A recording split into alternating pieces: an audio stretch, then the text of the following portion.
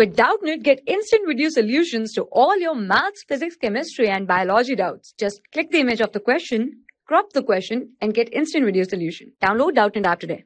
Question is, what information do you get about the uh, from the figure about the atomic number, mass number, and valency of the atoms X, Y, Z?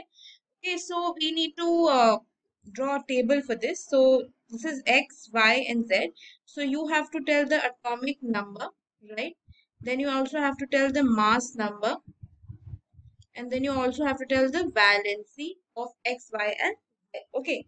So talking about the atomic number of X, if you look at X very, very carefully, then it has five protons. So the atomic number is equal to the number of protons, so which is five, right? So the atomic number for X will be five.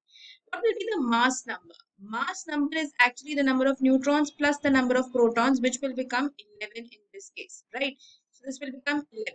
Talking about valency, now this has three electrons in its valence shell. It means it can easily lose these three electrons, right? It can lose these three electrons, which means that it will have a valency of 3, right?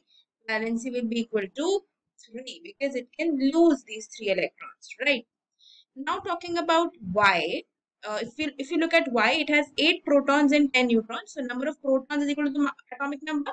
So the atomic number will be 8.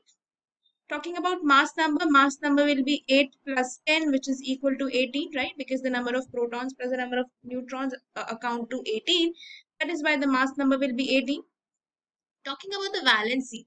Now, if you look at this, it consists of six electrons in its valence shell, right? It consists of six electrons in its valence shell and it needs two electrons to complete its noble gas configuration. So the valency will be the valency will be 2 because it already has 6 electrons in its valence shell. If it gains 2 electrons, it will uh, complete its noble gas configuration. So valency will be 2 in this case.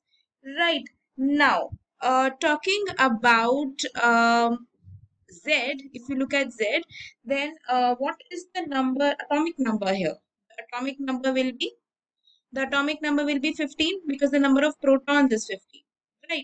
Talking about the mass number, what will be the mass number? The mass number will be 16 plus 15, right? 16 plus 15 means 31, right?